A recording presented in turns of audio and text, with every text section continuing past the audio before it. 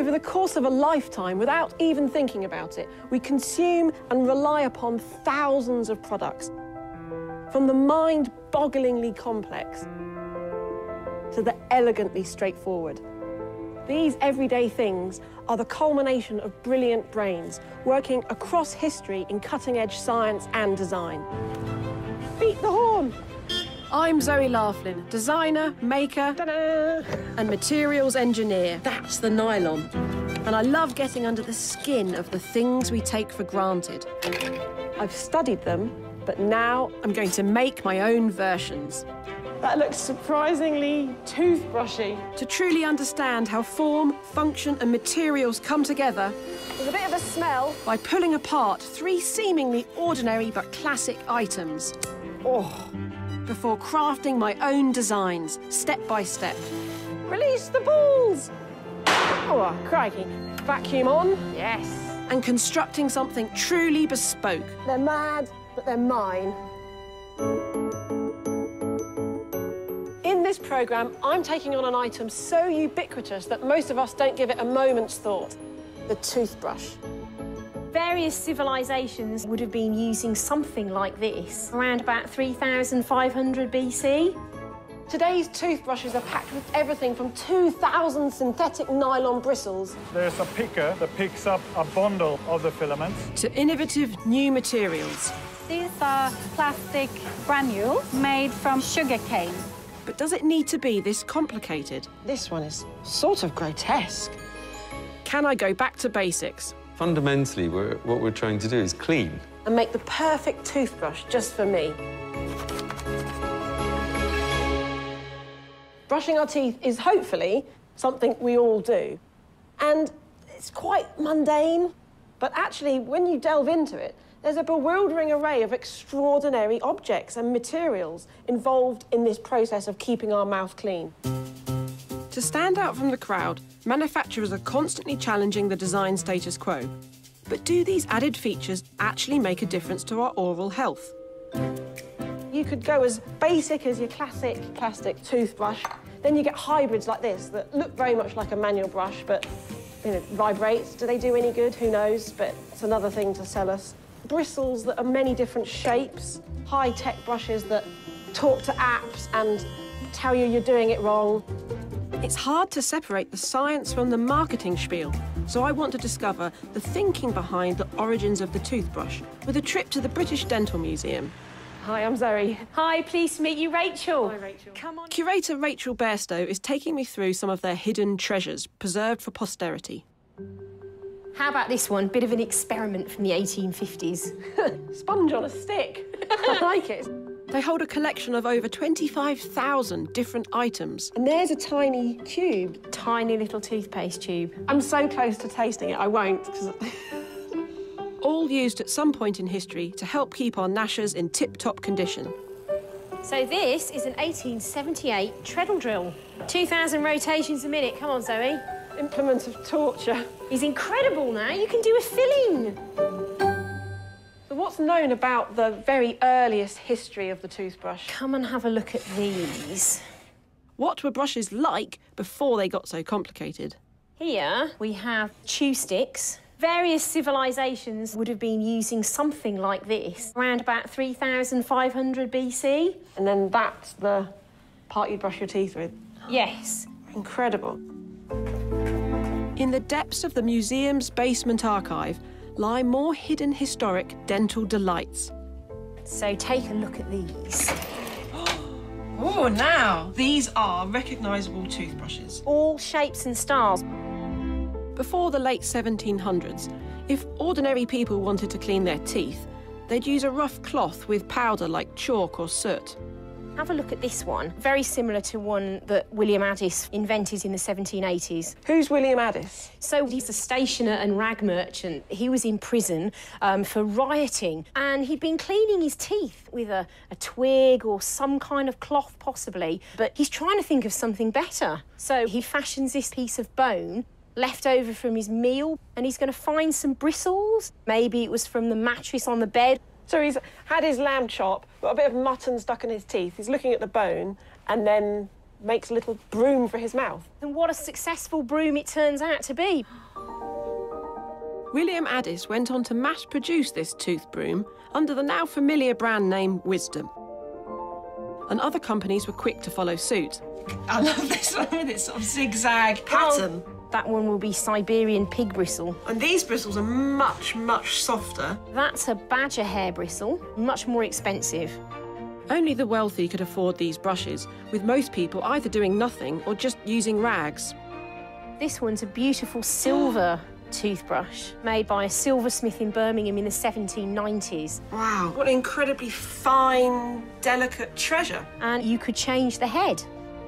By the turn of the 20th century, the nation's poor oral health came under the spotlight. What came next? The plastic revolution. The British Army realised their troops' teeth were so bad they couldn't eat their rations, and a national campaign was launched. Oh, and now you get colour as well. Oh, yes. Prompting a demand for cheaper brushes for all. This is celluloid from around 1906, 1908, and it was the high street shops that were beginning to sell these. Celluloid was one of the first thermoplastics, a group of polymers that soften and become pliable at high temperatures and solidify upon cooling. These qualities make it perfect for moulding into handles and rapid mass production. But these bristles, these are still... These are still animal bristles at this point because the next step forward is going to be nylon. So in 1938 in America, they developed nylon. Wow, so this is an entirely synthetic plastic brush in that you've got yep. plastic handle, plastic nylon bristles, cheap, easy to mass produce, that can be easily dyed. That mean you get pops of colour. Wow. Yeah, like, God, talk about objects of desire. Yeah, yeah, absolutely. And most importantly, they're more hygienic. Animal bristles of old harboured bacteria and took hours to dry. No soggy bristles, these can dry out much more effectively. This shift to cheaper and more hygienic synthetic materials played a massive role in improving the oral health of the entire nation. I love these ones with all the different neck shapes. But this swiftly led to an explosion of new products on the market, with manufacturers competing to stand out from the crowd. The biggest step forward in the last sort of 50 years has really been the introduction of the electric toothbrush. Few problems when they first came on the market. I mean, electricity in the bathroom, you know, those kind of things. Oh, I like this one. Oh, I say, now it's like a sort of spinning toilet brush. That's going to spin and throw toothpaste and spittle everywhere. Yeah, I don't think it caught on. No. As toothbrushes have become more and more elaborate, I do wonder if we've gone too far. I'm curious to see if going back to first principles might produce a better brush. Let's start with handles. To find out what's really going on inside, oh, that's the post that the toothbrush goes onto. It's time to pull them apart. This will be the motor, and then here's the battery. It's connected to the circuit boards. This is a complicated object, ultimately to perform a relatively simple task. Electric brushes are very effective cleaners, but I'm interested in the toothbrush in its most basic form. As human beings, we're so dexterous but for me, a manual toothbrush is perfectly adequate. In terms of handles, often it's polypropylene or polyethylene. They're both thermoplastics that are very strong and durable. The polypropylene on this neck is great because it does have some flex to it, but it does not fatigue easily. Invented in 1954 for use in things like kitchen utensils, polypropylene is a plastic that's hard-wearing, long-lasting and easily cleaned. But you've got a problem if you're brushing your teeth like this even though I've turned it entirely back on itself, it's not snapped. Compare that to something more rigid, like a bamboo handle. Well, that snaps first time. This brush combines two types of plastic. With no label to identify which is which, my soldering iron should help, thanks to their different melting points. That's melted and it's almost now sticky. So this section polyethylene, let's try the white plastic. Yeah, so that is melting much less easily. We have polypropylene and polyethylene just in this one part in order to have a transparent element. And then the rubber, it's got a nice squidgy kind of give to it and a dimpled texture. And then another texture and material there, There's a huge amount going on. I mean, this one is sort of grotesque. So more than six different parts to make just one manual brush, but that's a vast improvement on the 500 plus components in an electric one. Is all this stuff really necessary? I'm slightly daunted by the prospect of a toothbrush now because actually, this is complexity masquerading as simplicity. Delivering great functionality in as simple a way as possible is often the key to successful design. For my brush, I want to discard the unnecessary and create something truly bespoke that does everything I need it to do. The three areas I want to tackle are the handle, the bristles, and the toothbrush's partner in crime, the toothpaste. I want my toothbrush to be as sustainable as possible, which very few commercially available ones are. We treat these everyday items as entirely disposable. In the UK, we throw away up to 200 million a year. All of these toothbrushes were found washed up on a beach in Hawaii. They've travelled huge distances. And when you look closely, you can see the different plastics are breaking down in different ways. The sort of rubbery grip has now gone really sticky and crumbly and weird. It's sort of interesting but horrific at the same time. Many plastic toothbrushes made since the 1930s are still out in the world somewhere. It is possible for handles made out of a single material to be recycled. But when you make it out of multiple different types of plastics like this, it actually becomes impossible to recycle. So what do you do with it when you finish with it? Well, if you put it in the bin, that's either going into landfill or worse, incineration.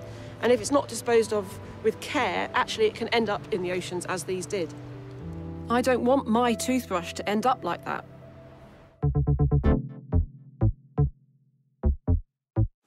So I've come to Malmo, Sweden, to visit Tepe, one of Europe's leading toothbrush manufacturers who are pioneering brushes, and in particular handles, made in a more sustainable way. Hi, Patrick. Hi, Zoe. Welcome to Tepe. Thanks for having me. What an amazing factory. It is.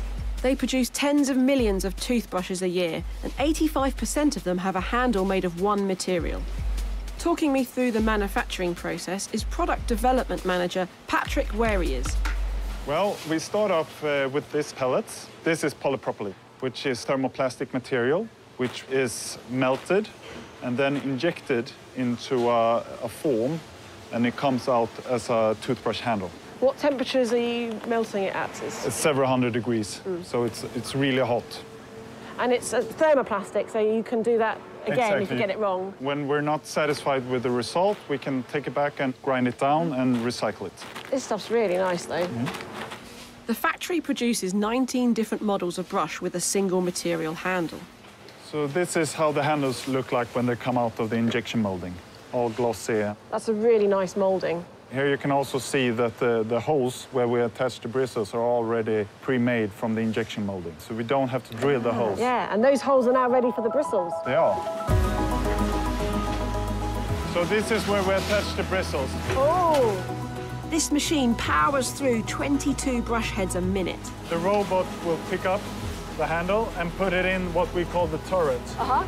And in this position, we uh, insert the bristles. Oh, that's lovely. Is that just nylon filament? This on nylon, exactly. 2,760 individual bristles are inserted into each head and held in place by metal staples. Wow, it's so fast! Yeah. Yeah. Green, green, green, pink, Yeah. pink, pink, green, green, green. That's Yeah. amazing. As long as the head is cut off first, the handle of the brush can be recycled when finished with. This is the latest member of our toothbrush family. It's a bio-based toothbrush. Ah. Tepe are also looking at ways to reduce their use of finite resources such as fossil fuels. So this handle is made out of a bio-based plastic in the... Bio-based polyethylene. Innovations Director Helena and her team are focused on reducing the environmental impact of the manufacturing process itself. And so with a traditional polyethylene, the source of that would be crude oil. Yes. What's the source for this? Sugarcane material. Okay, sugarcane. What are the bristles made out of? Those are made of castor oil, so it's also a bio-based material. That's nice. That's really nice.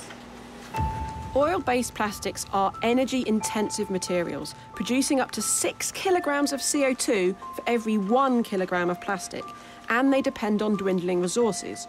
Whereas bio-based products like these rely on renewable crops. The carbon footprint of this is next to um, CO2 neutral because um, we absorb or manage to absorb the uh, CO2 emissions by 95%.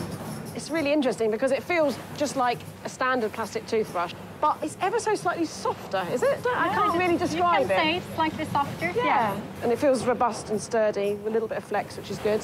And that's really key when we're changing to more sustainable material, not compromising on the quality or the user requirements of the product.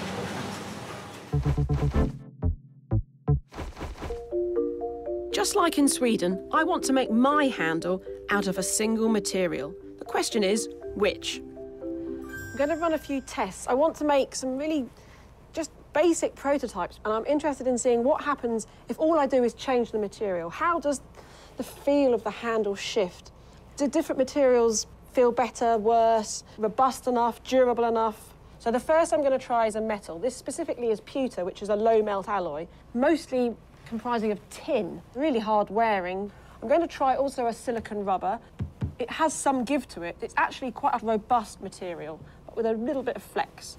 And then polyester resin, a plastic which is really hard, won't be very flexible, but is going to be smooth, easily cleaned. With a bit of help from my favourite childhood toy, I've made a mould using a multi-material handled brush as my master shape. Now, what's going on in here is pewter is being heated up to 274 degrees Celsius, much hotter than a domestic oven can get. It's actually not as hot as something like steel, where you'd need to take it to well over a thousand degrees. So this is something I can kind of play with in a DIY way. Pewter has been used for making objects for more than 2,000 years. Here we go. It was mainly used for candlestick holders, tableware and jewellery. Don't knock it over, Zoe. Next, the silicon rubber. Now time to mix. It's quite stiff. It's a chemical compound containing carbon, hydrogen, oxygen and silicon molecules. When bonded together, they make a polymer. Here it comes. It can be engineered to have a wide range of properties, from flexible and soft to robust and strong. Oh, God. The hole into the neck is too small. It's just whether it's going in all the way. There's no way of knowing. It's not an easy substance to delicately mould. Making things is always trial and error. Hmm. Finally, the polyester resin. It begins life as quite a viscous liquid, and I need to add a catalyst. Polyester resins are all around us. The catalyst is the agent that's going to cause a chemical change. 3%, so that will be three grams. They can be spun into fibres for clothing, moulded into plastic bottles, or used to make photographic film. Ooh, gotta leave that, let it sit. Right. The moment of truth. Oh, this is exciting. Okay, first the pewter. Ooh! Oh, it's like an elegant fish. Next, the silicon rubber. Ugh, the rubber's bonded rather well to the mould. Really stuck. It's not good. I think this is a resolute fail. And finally, the polyester resin. Oh, that's very convincingly a plastic toothbrush handle. Oh, I like that. The polyester resin has picked up really nicely the tiny textured dimples on the surface of this. It feels like a good grip, but I don't know, maybe it's a bit too plasticky. The metal one's got a real elegance about it. I like the idea of using something that says this is for life, this material makes it precious, but actually would it feel in brushing your teeth just too heavy? I'm not sure either the pewter or the polyester resin are right for my brush, but there's something really pleasing about seeing the same shape in different materials. And realising that when you change the material, you actually do change what the object is like. But there's no getting away from it. The material and the shape in which it's formed are inextricably linked. For me, the feel of a handle is crucial for being able to use a toothbrush well. So for the next week, I want to test a range of shapes already available on the high street. That that feels good, but the head looks absolutely ginormous. It's like something you use for brushing the teeth of a horse. Next up, it's a simple polymer-handled brush. Now the shaft's a bit wet, it's actually more tricky to hold on to. It's sort of, my hand wants to move up and down it rather than the brush move with my hand. That will be nice because my thumb will fit just there. I'm looking for a handle that's comfortable and easy to grip. It's getting there, but actually it's not there that I want it. A two material composite handle. This wasn't slipping, this was I did have a good grip and a good purchase on this. But the downside of it is just you lose the ability to recycle. One alternative option is a handle made of bamboo, which could biodegrade in compost, and you would need to cut the head off. Do you know what? I don't like it. I think it must be highly porous. It's soaking up moisture, and you can feel it wicking that moisture off your lips, off your gums, off your cheek. Morning. This morning, I'm going to try the Miswak. Made from the branches of the Salvadora persica tree. True until brush-like. You can see where the bristles are starting to reveal themselves.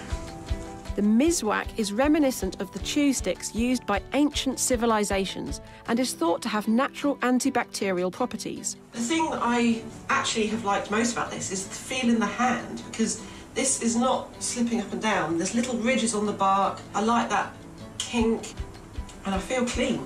I love how the natural bumps of this handle provide a subtle yet successful grip.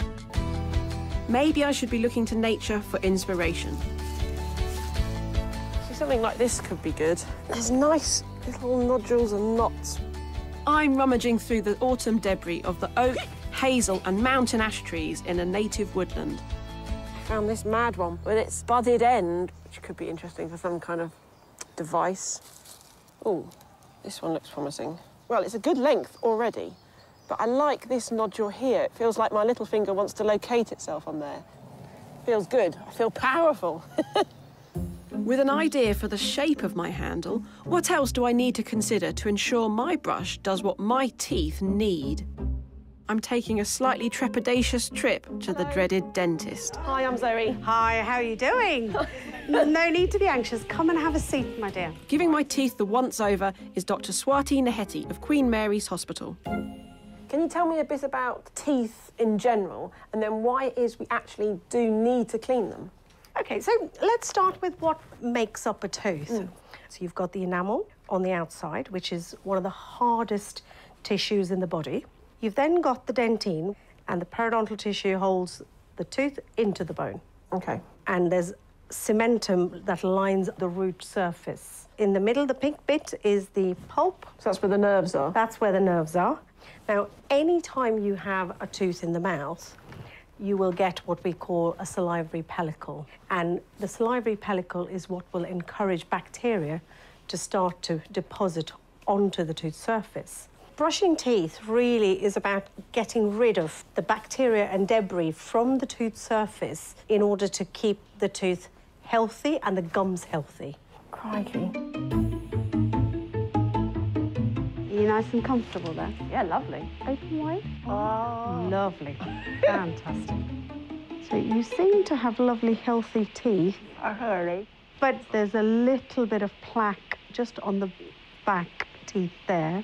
I'm going to take a sample of your plaque for it to be examined under a microscope.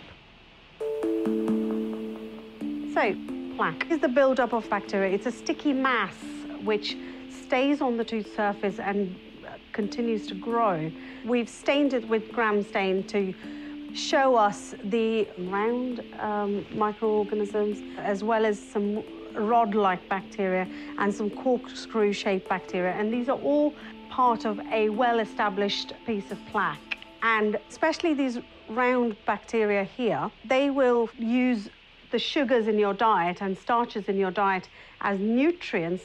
So if we eat sugars or starches, then we are feeding that bacteria You are at the feeding same time. Yes. What damage do they cause? The byproduct of their food processing is acid. This acid eat away at the tooth, causing decay. An acid attack on tooth enamel can come from acids in the food we eat. This is an ultrasonic scaler. Is it going to hurt? It shouldn't do. But it also comes from acids produced by bacteria as a byproduct of them feasting on starch and sugar remnants. oh, I like that. So a good brushing is vital. I've never been so clean. When you go and buy a toothbrush in the shop, you'll find toothbrushes with all kinds of like nodules on and many different bristles and handle yeah. types. But ultimately, what makes for a good toothbrush? The ideal brush is a small head toothbrush to get to the far back of the mouth and of a medium hardness with bristles that are rounded. That's all we need. None of the fancy bits really make a difference. So the message is keep it small and simple. And I want to do just that. Next up, the bristles. Okay. This one's got rubber on the side, different heights, different colours. Then you have things like this, which is a single bristle type. These are boar bristles. They're really stiff and wiry. Oh, it's a very gnarly surface. This is more like something you might, you know, clean mud off your shoe with. Despite the variety on offer, there is a common theme emerging amongst the majority of brushes. Yeah, they're nylon. Nylon, more nylon here. Nylon bristles are popular because they dry quickly, so bacteria can't live on them for long.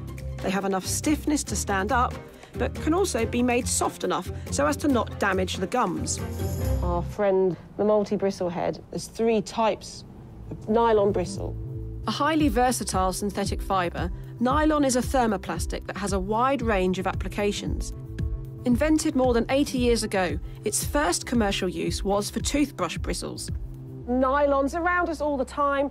We have these things, nylons as in tights, often made of very thin nylon filaments, but you can also get nylon in pellet form, and you can even get totally solid pieces of nylon. Great for making very intricate parts, used a lot in engineering. Originally marketed as a miracle material that was stronger than steel and better than silk, it was the ability of nylon to be drawn out into thin filaments that made it perfect for the bristles of a toothbrush. And I'm going to have a go at that now. Right, first things first, gloves. Nylon is made by combining two chemicals, a sebacoyl chloride and a diaminohexane. The ingredients themselves are a little bit nasty. So specs on, just going to empty all of the diamine hexane into this first beaker. And then this sebacoyl chloride into a separate beaker. They can be corrosive individually, but stabilise when mixed together. OK, and then the next step involves the glass rod. This allows me to gently pour the sebacoyl chloride onto the diaminohexane, creating a thin layer. Yeah. Now that junction where the two liquids are meeting that's where the nylon is forming. This is where amino groups in the diaminohexane molecules and the acyl chloride groups in the sebacoyl chloride molecules bond together in a process known as polymerization to make a series of bigger molecules in a repeated chain-like fashion. Oh, in fact, some nylon has already formed. It's almost like clouds. Let me see if I can grab it. come on, out you come. I'm actually drawing a continuous filament from the interface of the two liquids. Let me try something. On an industrial scale, manufacturers can create kilometres of this an hour. What? There it comes. At around a fifth of a millimetre thick. There we have it, homemade nylon a way to go for me then. The stuff that's the basis of the majority of our toothbrush bristles. A great material for my DIY brush. There's one crucial element I still need to tackle. Surprisingly hard work. How to attach them to my toothbrush head. So that's a metal binding that's holding the bristles in place A feature of the vast majority of heads, these bindings are nigh on impossible to separate from the plastic, meaning the brushes can't be melted down and recycled. Now, this is interesting because I can't see the metal bindings. In this case, it really is like the hard plastic head has been directly moulded onto the bristles. This is a really intricately made, complex object that really is only possible with industrial manufacturing processes. Of the thousands of brushes on the market, I'm yet to come across one that's fully recyclable. So I'm on a mission to make mine just that. Can I mould the entire thing, handle and bristles, as one single piece, dispensing of the need to join them together? To do that, I'm turning to a technology that will allow me to manipulate materials in an entirely unique way. Hi, Zoe. Hi there. Lovely to meet you. Thanks for having me. Andrew Dawood, a dental surgeon with over 30 years' experience, helpfully also set up Additive, a company specialising in 3D scanning and printing. This is where it all happens. Yes, what we're doing is making your ideas into a physical reality. His team of designers use this technique to create a range of products, from architectural scale models to exact replicas of bones and teeth for doctors and dentists. So what we've got here is uh, Tom scanning an object with a structured light scanner. And it has LEDs flashing very, very fast that project a structured pattern onto the object. So the LEDs throw a net of light over the surface of the object. Exactly. It actually has five cameras, and then the software works out a 3D shape for the object. This process is known as structured light scanning. That bottle has a very smooth surface. How well does the scan deal with textures? Could it pick up much detail? So we can get a resolution of about 0.1 millimeters. So that's that's pretty small. Yeah, pretty that's really a tenth of a millimetre is Yeah, quite oh, fine. good.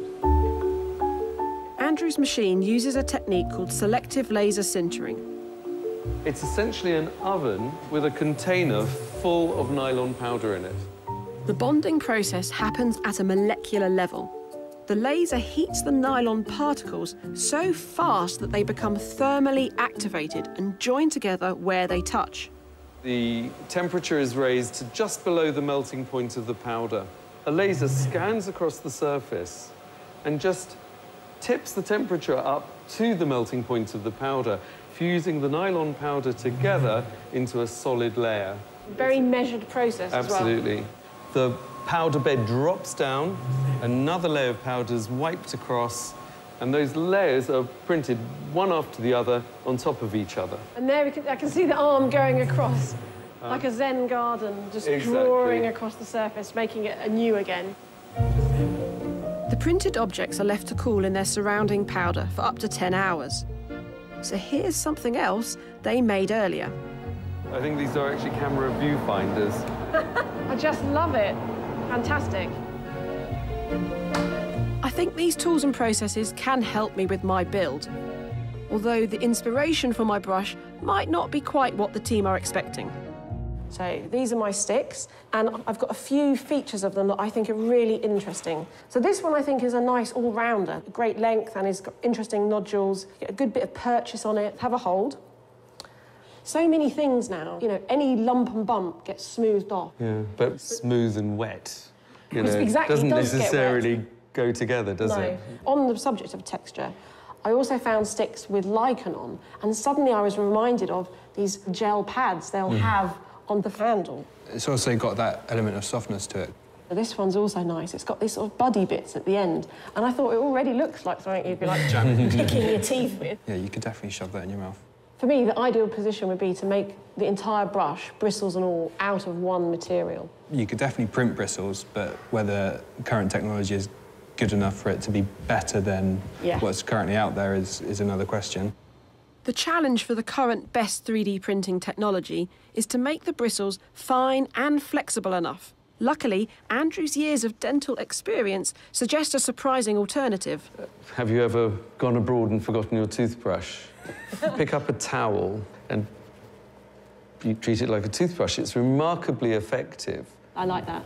I could make a pack of 20 little pads. They would just go through the washing machine on a hot wash. You put a fresh pair of socks on every day. Why not put a fresh pad on your brush? Yeah.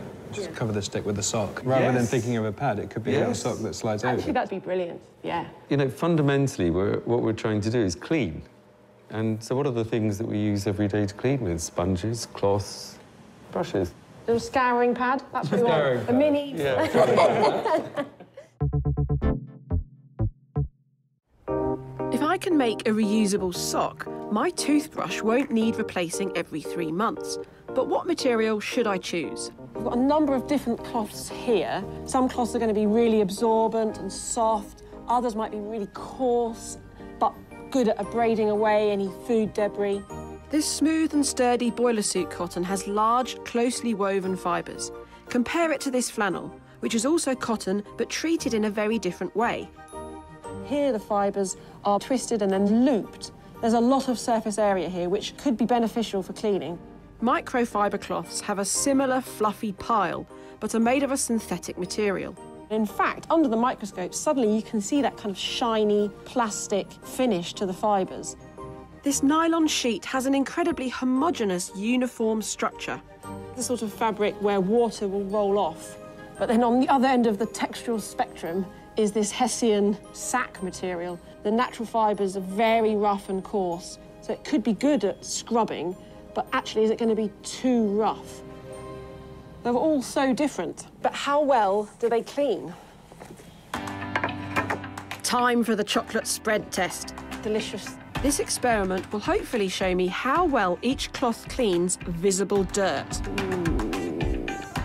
I've wrapped my five cloths around a block of wood to ensure the dimensions of each sample are the same. And then to try and compare those fabrics to toothbrush bristles themselves, I've mounted a few heads on one of the wooden tiles as well. Little spray of water. Real channels where the bristles were. Where the bristles weren't, not touched it. Not bad. The Hessian, you can see the roughness of it, but from the start to the end, there's smearage. Now the nylon. It's a very even slick, but from start to finish, there is still chocolate spread on the tile. Next is the synthetic microfiber cloth. Now, this is an impressive start. It's completely cleared this section at the beginning, but then it sort of dumped it at the end. Cotton flannel. Ooh. It has picked up more than the microfiber cloth, and more is clinging to this. And then finally, the boiler suit cotton. Not bad either, but it hasn't cleaned it as perfectly at the start. There's more of a tail of smear. Surprised, actually, how different they are. So for visible dirt, it's the two fluffier fabrics with their looped weaves and large surface areas out in front. But what about the stuff we can't see? Back of the spoon, little dab on the tile. My second experiment is designed to look at how well each material is able to remove invisible residues like sugars. The nylon, it's so unabsorbent that I'm just moving water around. the things left behind in our teeth which can feed bacteria and lead to corrosion, in this case, honey. And then the brushes. These hygiene swabs contain a liquid that will turn green if glucose from the honey is detected. Ooh, instantly green and quite dark. The darker the green, the more glucose is left behind by the cloths. I'd say that's going the light green colour, so there is less glucose present. Oh yes, I feel a dark one coming on. Plenty of glucose there. The results show a distinct difference. I think it's clear that these three are much darker than those three. The nylon, Hessian sack and bristles all show a high level of glucose is still present after cleaning. It's interesting when you start to look at the two fluffier materials, the microfiber cloth and the cotton toweling. And I think if I compare it to the boiler suit cotton, mm, it's close. This one is quite similar to this. To my eye, the winner that is visibly lighter in its green colour, indicating a lower level of glucose present, is the cotton toweling. This one, I'd say, cleans the best. One last thing, however, how does it feel against my gums? I mean, it's weird, but it's soft, it's fine. Mm. Mm, actually do feel quite clean.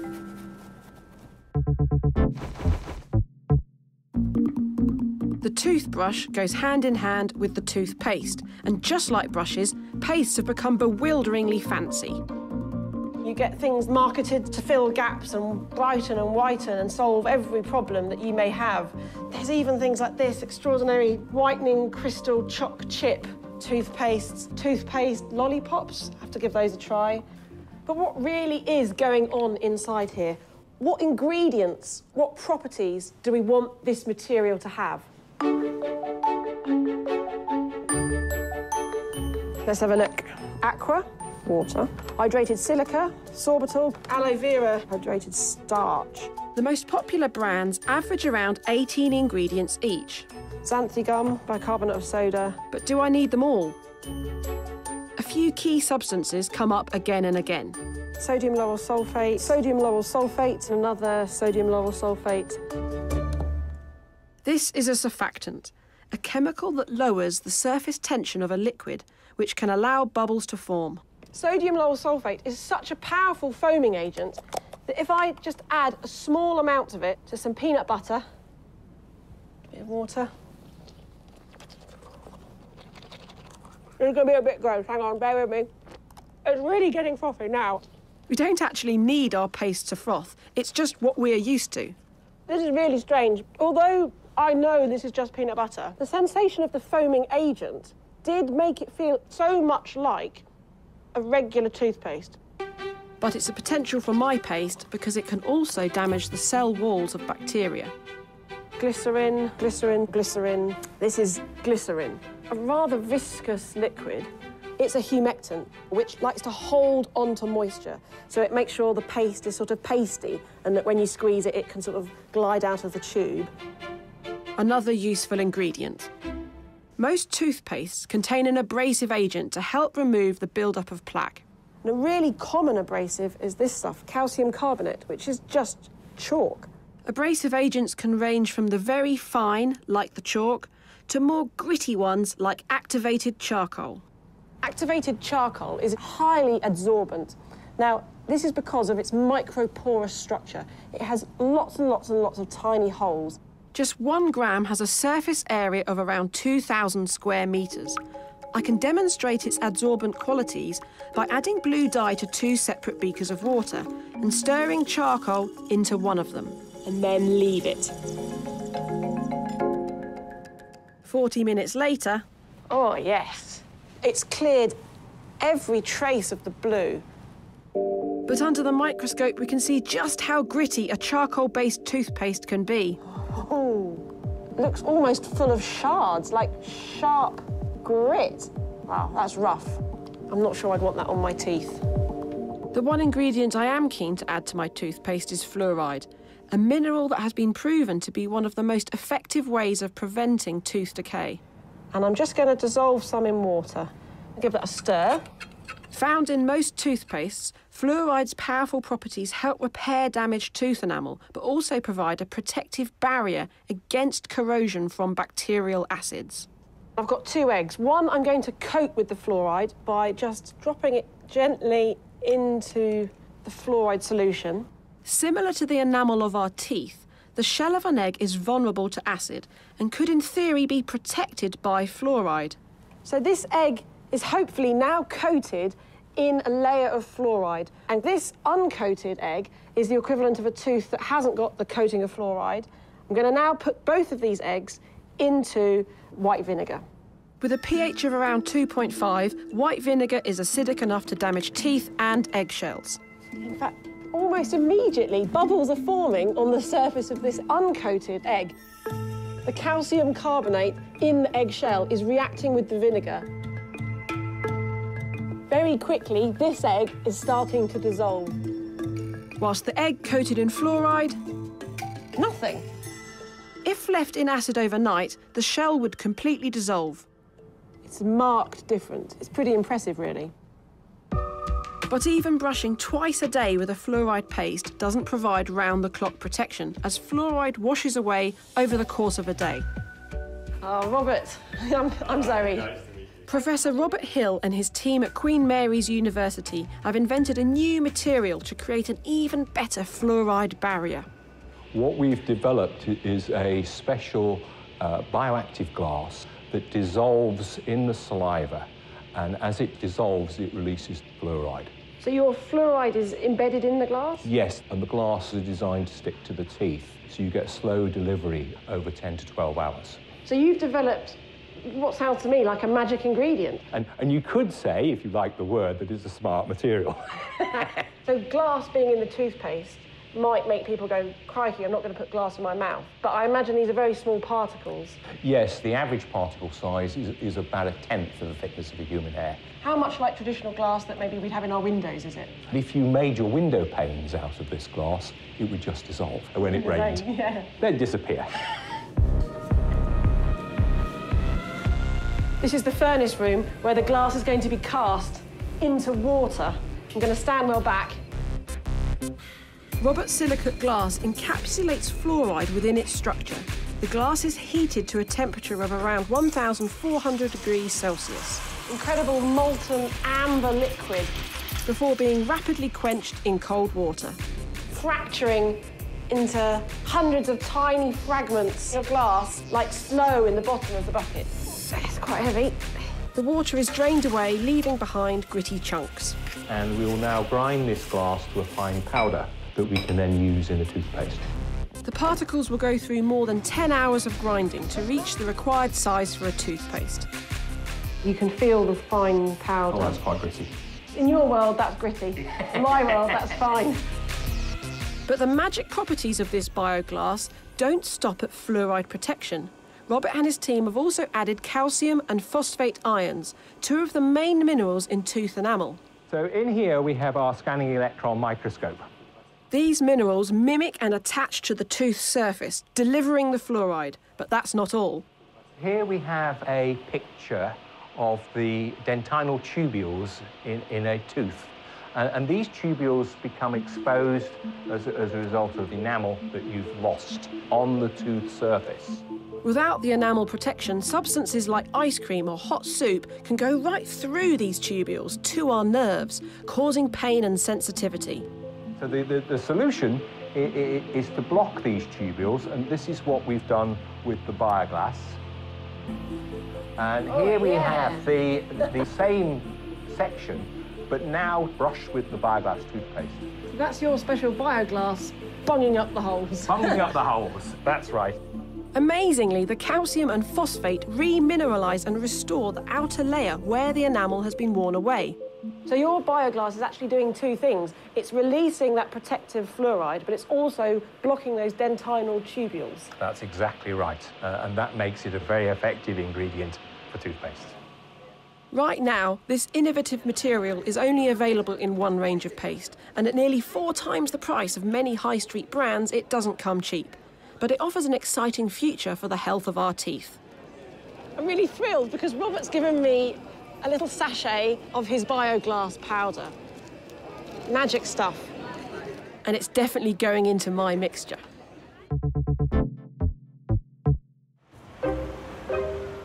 My next step is to figure out what I put my toothpaste in. The majority of toothpaste comes in tubes, and these tubes are mostly made from polyethylene. But it's not the same material all the way through. It's polyethylene on the outside and it's aluminium on the inside, two materials. That's near impossible to recycle. But the problem with tubes made of just polyethylene is, although it's flexible, it's also relatively elastic and springs back. So actually, to get the most out of the tube, you need something to hold it closed. If we each throw away six of these tubes a year, that's 300 million in UK landfills.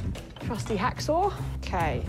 Some packaging, like these pump systems, oh, well, that is a gloopy mess, are even more complex. I push this all the way up. Whoop. So this is the bung. And there are these kind of aluminium feet that bend in this direction, but not that direction. So it means it can slide that way, but not go back down. This is really well designed, but is it over-engineered? No one's really going to go to the trouble of getting the aluminium out of this widget in order to recycle that separately from that. Packaging like this will never allow me to make a sustainable product. In search of an alternative, I've come to visit one high street brand looking to push the boundaries when it comes to eco-friendly products. It smells amazing in here, really appetising. Mm-hmm. Helen Ambrosen is one of the product inventors and co-founders of cosmetics company Lush, where around half of their products can be taken home without any packaging at all. But how does that work for toothpaste? Here we have some toothy tabs.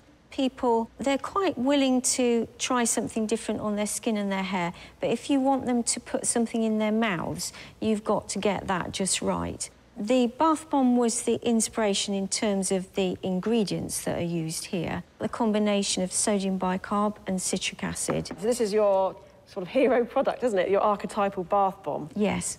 One day in the lab, I decided to think about other organic acids and combined sodium bicarbonate with cream of tartar and created this. So these are essentially a tiny bath bomb yes. for your teeth. When you pop it in your mouth, your saliva and your wet toothbrush is providing exactly the right amount of water that you need to clean your teeth. An advantage of these tablets is they can be stored in any reusable airtight container you have to hand. It's lovely to be excited about toothpaste. In the mixing room, product makers Gary and Emmy combine all the dry ingredients. What you need to do now is make a nice little well in the middle. Like making a Yorkie pud. That's it, you got it. This is our mild surfactant, Lol sarcosin. So this is the foaming agent? Yep. This is lovely, unctuous. Very much like baking some sort of cake, making a dough. With the final ingredient, dicalcium phosphate, added as a mild abrasive, the mixture is given a proper stir. That's lovely. The next step is taste, and Lush pride themselves on being unconventional on this front. I'm gonna give you some sad truth. Unfortunately, a lot of the material that make toothpaste effective actually taste horrible. Product inventor Ali is showing me just why my toothpaste ingredients will need a flavour boost.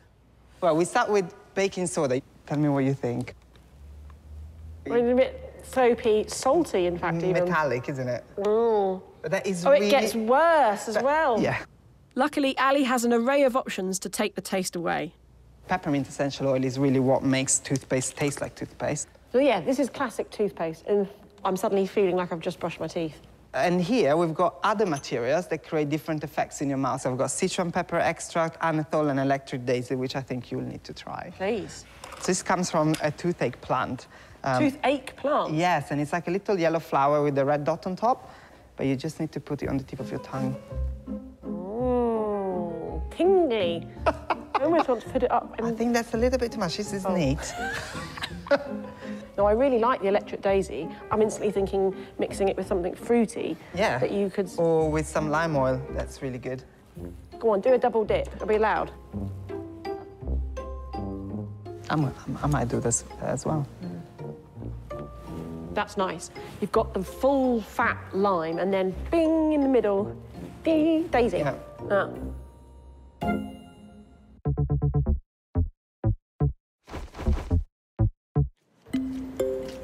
With my final plans in place. Aha. Zoe, hi, how are you? Good, thank you. How are you? Come on in. I'm back at the 3D printers to put Andrew and his team to work on my stick. I'm particularly interested in this texture of this lichen. Okay. And then these little buds on the end of this stick. Knobbly bits. Yep. Cool, well, let's have a go. Using the structured light scanner... It's amazing to That's see great. it emerge on the Yeah. screen out of nowhere. Looks like it's growing. I've asked the team to print off a number of different prototypes to test out a variety of options for my head. So we've got that virtual object, and what we can now do is start to impose your ideas on it. So I'd like one stick to be made flat and smooth, and then another one that has, The knobbly bits. yeah, knobbly bits. Another takes the texture of the lichen and places it on that face, and then bristles as thin as your nylon printer can make them. Exciting. Now it's down to the incredible precision laser to work its magic and heat the nylon particles. Several hours later, my sticks are ready. Dig in, see if you can find your objects. Okay, in I go. Whoa. Oh, it's very soft. Oh, I've hit solid. I've hit solid. There is something sticky. Ah! that looks surprisingly toothbrushy. It looks gorgeous. I really like the angulation of that head. Never seen a, a brush like that. So this is the one that's got the kind of Knobbly bits. knobbly bits from the other twig. This is the plain one. yeah. And this is the last one. So this is uber texture, mm-hmm. buds and lichen combo. This speaks to the future of an all-one Yeah. material brush that Yeah. can be easily recycled. Yeah. Back in the workshop, I'm getting to work on my toothpaste, or rather, tooth tablets. The large granular ingredients are going in first because they'll need the most grinding. I'm keeping it simple with just six core ingredients plus some flavours. About a gram of the surfactant in the form of sodium lauryl sulfate, then xylitol, a sugar-free sweetener with antimicrobial properties. Next, a little bit of citric acid. So this is a binding agent, but it's also a mild preservative. Xanthan gum will also help it bind, and the bulk of the tablet is bicarbonate of soda. It's actually a very mild abrasive, so I need 50 grams of this. Next is the futuristic bioglass. This amazing time-lapse fluoride releasing glass. This has got to be in there. Now it gets fun. Okay. Last but not least, the flavours. A drop of electric daisy, a dash of lime. Let's do it Jamie Oliver style. Just a whisper. Let's try it. Mmm, tingly. That's nice. Right, hammer time.